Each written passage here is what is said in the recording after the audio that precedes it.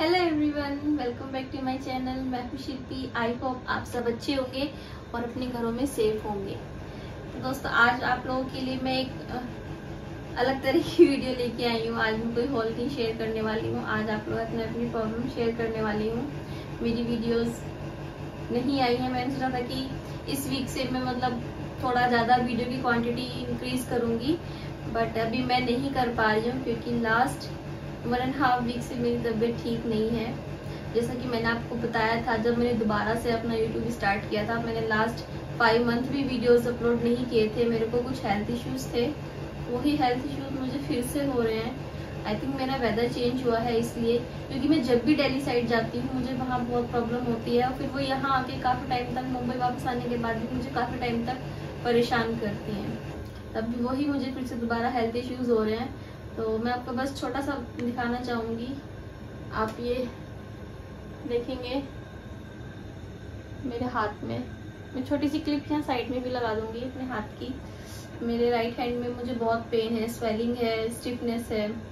अगर आप लोगों में से कुछ लोगों को नहीं पता है तो मैं आपको बता दूँ, मुझे र्यूटोमेटिक अर्थराइटिस है, जिसमें आपके जॉइंट्स में बहुत पेन होता है, आपके जॉइंट्स स्टिफ हो जाते हैं बैंड हो जाते हैं।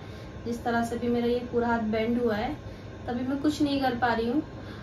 बुखार, पेट दर्द हो तो भी आप एक बार को वीडियोस बना सकते हो, बट मेरी जो डिज़ीज़ है वो ऐसी है, और जो मेरा मेरा मतलब जो मेरा यूट्यूब की मेरी वीडियोस है वो फ़ैशन रिलेटेड है, जिसमें आपको क्लोथ चेंजेस करना होता है, आपको अच्छे से थोड़ा सा रिप्रेजेंट होना पड़ता है मेकअप करना पड़ता है, और मेरे को भी राइट हैंड में ही पेन है, जिसकी वजह से मैं कुछ भी नहीं कर पा रही हूँ।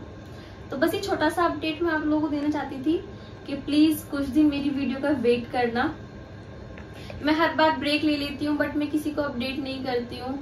मैं हर बार बहुत मेहनत करती हूँ, मेरा चैनल थोड़ा सा ग्रो करना स्टार्ट करता है। तो फिर वही मेरे साथ होता है, मेरी तबीयत खराब होती है तो मुझे ये लगता है कि शायद मुझे अपडेट करना चाहिए कि जब जब मुझे इश्यूज़ हैं, क्या हमारी लाइफ में इश्यूज़ चल रहा है तो मुझे लगता है बताना चाहिए। इसलिए मैंने सोचा इस बार मैं आप लोगों को अपडेट कर देती हूँ कि हाँ मुझे इस टाइम थोड़ा सा हेल्थ इश्यूज़ ज़्यादा हो रहा है।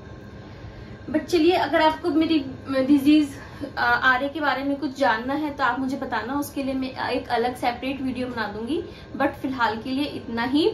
तो दोस्तों, बस मैं यही कहना चाहूँगी प्लीज़ मेरे चैनल के साथ बने रहिएगा और मेरे लिए प्रे भी कीजिएगा और प्लीज़ मुझे सपोर्ट भी कीजिएगा। तो चलिए दोस्तों, मेरी वीडियो आने के लिए शायद एक दो दिन में आ जाए, ना आने के लिए अगले एक हफ़्ता भी ना आए।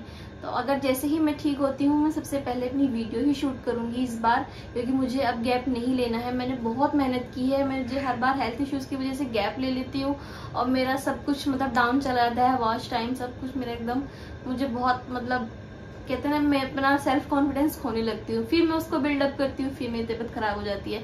बट इस बार मैं ऐसा नहीं करूँगी, इस बार मैं कंटिन्यू मेहनत करती रहूँगी। तो बस अब आपको और नहीं पकाती हूँ और आपको एक नई वीडियो के साथ मिलूँगी बहुत ही जल्द, तब तक के लिए बाय